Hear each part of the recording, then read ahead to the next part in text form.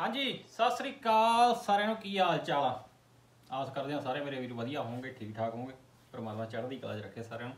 ਦੋਸਤੋ, ਦੋ ਦਿਨ ਹੋ ਗਏ, ਦੋ ਕੁ ਤਿੰਨ ਦਿਨ ਹੀ ਹੋ ਗਏ। ਕੋਈ ਵੀਡੀਓ ਨਹੀਂ ਆਈ, ਟਾਈਮ ਨਹੀਂ ਲੱਗਾ ਥੋੜਾ ਜਿਹਾ ਸ਼ਡਿਊਲ ਜ਼ਿਆਦਾ ਬਿਜ਼ੀ ਹੋਣ ਕਰਕੇ। ਬਿਜ਼ੀ ਸੀਗੇ, ਇਸ ਕਰਕੇ ਵੀਡੀਓ ਪਾਉਣ ਦਾ ਟਾਈਮ ਨਹੀਂ ਲੱਗਾ। ਤੇ ਹਾਜ਼ਰਾਂ ਲੈ ਕੇ ਤੁਹਾਡੇ ਵਾਸਤੇ main main update main main ਜਾਣਕਾਰੀ ਤੇ ਅਪਾਇੰਟਮੈਂਟਾਂ ਕਿੱਥੇ ਤੱਕ ਪਹੁੰਚਿਆ, ਕੰਮ ਅਪਾਇੰਟਮੈਂਟਾਂ ਦੇ ਬਾਰੇ ਚੱਕਰਾਂ 'ਚ ਪਾਏ ਹੋਏ ਉਸ ਤੋਂ ਪਹਿਲਾਂ, ਇਹ ਸਾਰੇ ਪੰਜਾਬੀਆਂ ਨੂੰ, ਪੰਜਾਬੀਅਤ ਨੂੰ ਤੇ ਪੰਜਾਬੀ ਨੂੰ ਪਿਆਰ ਕਰਨ ਵਾਲੇ ਇਹ ਸਾਰੇ ਮੇਰੇ ਵੀਰਾਂ ਨੂੰ ਬਹੁਤ ਬਹੁਤ ਮੁਬਾਰਕਾਂ ਮੁਬਾਰਕਾਂ ਕਿਸ ਗੱਲ ਦੀਆਂ। ਇਹ ਬੇਟੀ ਹਰਮਨਜੋਤ, ਜਿਹੜੀ ਕਿ ਪਿਛਲੇ 5 ਸਾਲ ਪਹਿਲਾਂ ਹੀ ਇਟਲੀ ਦੇ ਵਿੱਚ ਆਈ ਸੀ, ਜਿਵੇਂ ਕਿ ਮੈਂ ਪਹਿਲਾਂ ਜਿਹੜੀ ਆਪਣੀ ਬੱਚੀ ਦੀ ਖਬਰ ਪਾਈ ਸੀਗੀ ਨਿਊਜ਼ ਪਾਈ ਸੀ, ਉਹਨੇ ਕਲਾਸ ਦੇ ਵਿੱਚੋਂ ਟੌਪ ਕੀਤਾ। ਇਸ ਤਰ੍ਹਾਂ ਹੀ ਬੇਟੀ ਹਰਮਨਜੋਤ ਨੇ ਵੀ ਟੌਪ ਕੀਤਾ ਕਲਾਸ ਦੇ ਵਿੱਚੋਂ ਸਕੂਲ ਦੇ ਵਿੱਚੋਂ। ਤੇ ਜਿਹੜੀ ਕਿ ਇੱਥੇ ਸਾਡੇ ਲੇਚੇ ਜ਼ਿਲ੍ਹੇ ਦੇ ਵਿੱਚ ਹੀ ਰਹਿੰਦੇ ਆ। ਪਿਛਲੇ 5 ਸਾਲ ਤੋਂ ਜਿਹੜੀ ਐਜੂਕੇਸ਼ਨ ਉਹ ਇੱਥੇ ਕਰ ਰਹੀ ਸੀ ਤੇ ਹੁਣ ਉਸਨੇ ਵੀ 100 ਚੋਂ 100 ਨੰਬਰ ਲੈ ਕੇ ਕਲਾਸ ਦੇ ਵਿੱਚੋਂ ਟੌਪ ਕੀਤਾ ਤੇ ਬਹੁਤ ਬਹੁਤ ਮੁਬਾਰਕਾਂ। ਬੱਚੀ ਹਰਮਨਜੀਤ, ਹਰਮਨਜੋਤ ਨੂੰ ਤੇ ਉਸਦੇ ਪਿਤਾ ਸਰਦਾਰ ਹਰਦੀਪ ਸਿੰਘ ਨੂੰ ਤੇ ਮਾਤਾ ਸ਼੍ਰੀਮਤੀ ਬਲਵੀਰ ਕੌਰ ਨੂੰ ਬਹੁਤ ਬਹੁਤ ਮੁਬਾਰਕਾਂ ਤੇ ਬਹੁਤ ਬਹੁਤ ਮੁਬਾਰਕਾਂ ਸਾਰੇ ਪੰਜਾਬੀ ਭਾਈਚਾਰੇ ਨੂੰ। ਸਤਿ ਸ਼੍ਰੀ ਅਕਾਲ ਸਾਰਿਆਂ ਨੂੰ, ਮੈਂ ਹਰਮਨਜੋਤ ਹਰੀ। ਮੈਂ ਇੱਥੇ ਇਟਲੀ ਵਿੱਚ ਪਿਛਲੇ 5 ਸਾਲਾਂ ਤੋਂ ਰਹਿੰਦੀ ਹਾਂ। ਮੈਂ ਇੰਡੀਆ ਵਿੱਚ ਅੰਬਾਲਾ ਪਿੰਡ ਪੁੜੰਗਪੁਰ ਤੋਂ ਬਿਲੋਂਗ ਕਰਦੀ ਹਾਂ। ਇਨੀਸ਼ੀਅਲੀ ਜਦੋਂ ਮੈਂ ਇਟਲੀ ਵਿੱਚ ਆਈ ਸੀਗੀ 2019 ਵਿੱਚ, ਤਾਂ ਮੈਨੂੰ ਇਟਾਲੀਅਨ ਲੈਂਗੁਏਜ ਬਿਲਕੁਲ ਵੀ ਨਹੀਂ ਆਉਂਦੀ ਸੀਗੀ। ਪਰ ਸ਼ੁਰੂ ਤੋਂ ਹੀ ਮੈਂ ਇੱਕ ਇਦਾਂ ਦੀ ਸਟੂਡੈਂਟ ਰਹੀ ਹਾਂ ਜਿਨੇ ਮੈਕਸਿਮਮ ਨੰਬਰ ਲੈਣ ਦੀ ਕੋਸ਼ਿਸ਼ ਕੀਤੀ ਆਪਣੇ ਸਕੂਲ ਵਿੱਚ। ਥੈਂਕਸ ਟੂ ਮੇਰੇ ਦਾਦਾ ਜੀ ਹਰਨੇਕ ਸਿੰਘ ਜਿਨ੍ਹਾਂ ਨੇ ਮੈਨੂੰ ਇੰਡੀਆ ਵਿੱਚ ਬਹੁਤ ਮੋਟੀਵੇਟ ਕੀਤਾ ਜਦ ਮੇਰੇ ਪਾਪਾ ਇੱਥੇ ਇਟਲੀ ਵਿੱਚ ਰਹਿੰਦੇ ਸੀ। ਤਾਂ ਸ਼ੁਰੂ ਤੋਂ ਹੀ ਮੈਂ ਮੈਕਸਿਮਮ ਨੰਬਰ ਲੈਣ ਦੀ ਕੋਸ਼ਿਸ਼ ਕੀਤੀ ਆ, ਪਰ ਜਦ ਮੈਂ ਇੱਥੇ ਇਟਲੀ ਵਿੱਚ ਆਈ ਲੈਂਗੁਏਜ ਨਾ ਆਉਣ ਕਰਕੇ ਮੇਰੇ ਚੰਗੇ ਨੰਬਰ ਨਹੀਂ ਆਉਂਦੇ ਸੀਗੇ, ਤਾਂ ਮੈਨੂੰ ਬਹੁਤ ਡੀਮੋਟੀਵੇਟਿਡ ਫੀਲ ਹੁੰਦਾ ਸੀਗਾ। ਕਿਉਂਕਿ ਮੈਂ ਚਾਹੁੰਦੀ ਤਾਂ ਸੀ, ਪਰ ਲੈਂਗੁਏਜ ਨਾ ਆਉਣ ਕਰਕੇ ਮੈਂ ਆਪਣਾ ਮੈਕਸਿਮਮ ਨਹੀਂ ਦੇ ਪਾਉਂਦੀ ਸੀ।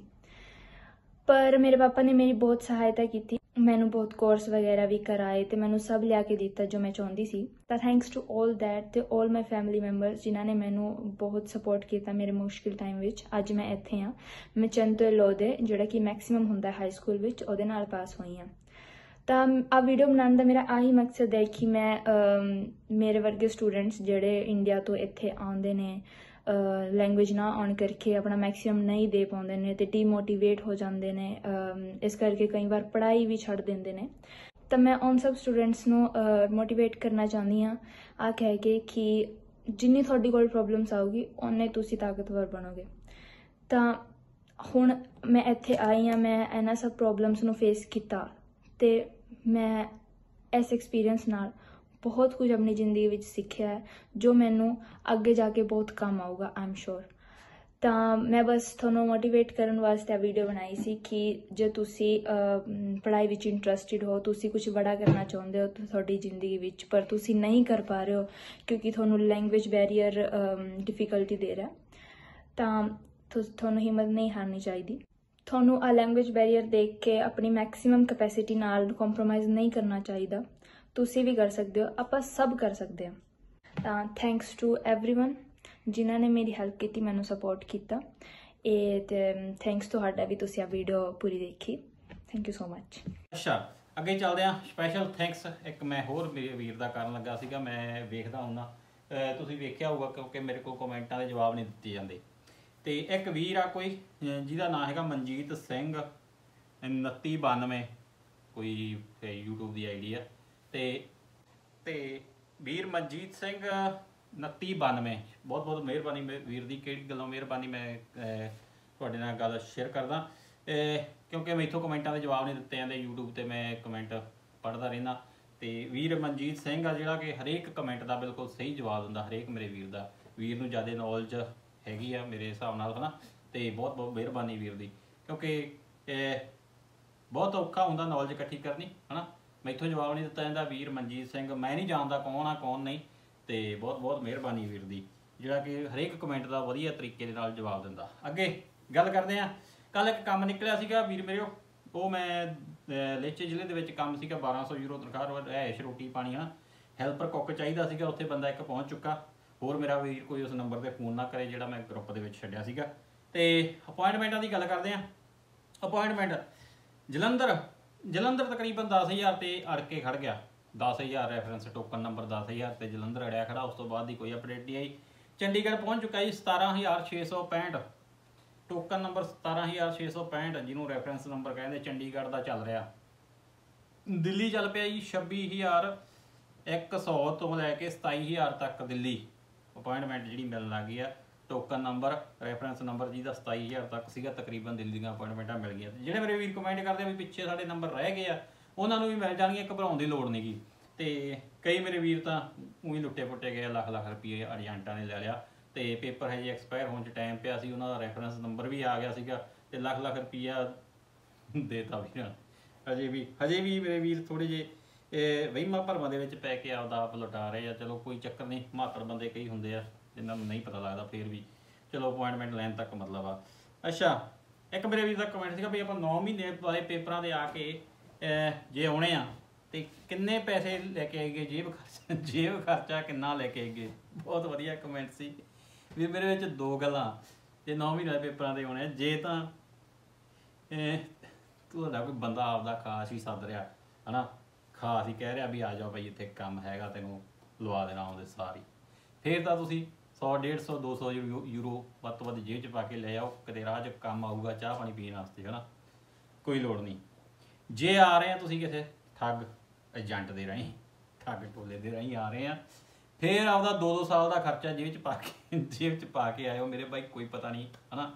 ਜੇ ਤਾਂ ਹੱਥ ਅੜ ਗਿਆ ਕੰਮ ਤੇ, ਤਾਂ ਚੱਲ ਸੋ ਚੱਲ ਨਹੀਂ ਨਹੀਂ 2-2 ਸਾਲ ਕਈ ਮੇਰੇ ਵੀਰਾਂ ਦੇ, ਵੀਰ ਇੱਥੇ ਕਹਿ ਦਿੰਦੇ ਆ ਨਾ, ਵੀਰ ਕਈ ਕਹਿੰਦਾ ਡੀਮੋਟੀਵੇਟ ਕਰਦਾ। ਡੀਮੋਟੀਵੇਟ ਨਹੀਂ, ਇਹ ਸੱਚਾਈ ਆ।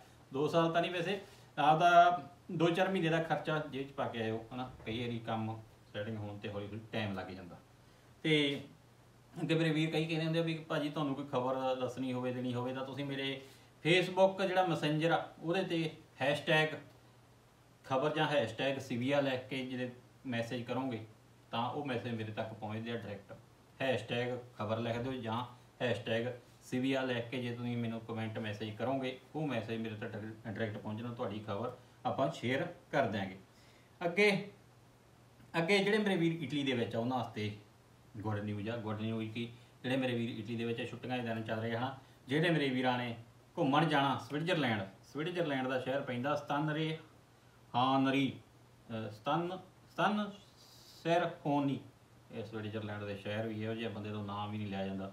ਚਲੋ, ਬਹੁਤ ਵਧੀਆ ਸ਼ਹਿਰ ਆ ਉਹ ਜਿੱਥੇ ਕੇਬਲ ਕਾਰ ਚੱਲਦੀ ਹੈ ਓਪਨ 에ਅਰ ਦੇ ਵਿੱਚ ਤੁਸੀਂ ਵੀਡੀਓ ਵੇਖ ਰਹੇ ਮੈਂ ਸਾਈਡ ਤੇ ਵੀਡੀਓ ਲਾ ਦਿੰਦਾ ਓਪਨ 에ਅਰ ਦੇ ਵਿੱਚ ਕੇਬਲ ਕਾਰ ਚੱਲਦੀ ਆ ਤੇ ਪੂਰੇ ਫੁੱਲ ਨਜ਼ਾਰੇ ਆ, ਪਹਾੜਾਂ ਦਾ ਨਜ਼ਾਰਾ ਦੇਖਣ ਨੂੰ ਮਿਲਦਾ। ਇੱਕ ਦਿਨ ਦਾ ਟੂਰ ਜਾਂਦਾ ਹੁੰਦਾ, ਤੁਹਾਨੂੰ ਪਤਾ ਸਰੀਲਾ ਭਾਜੀ ਲੈ ਕੇ ਜਾਂਦੇ ਤਰਸੇਮ ਦਾ ਸਰੀਲਾ ਸਰੀਲਾ ਪ੍ਰੋਡਕਸ਼ਨ ਵਾਲੇ।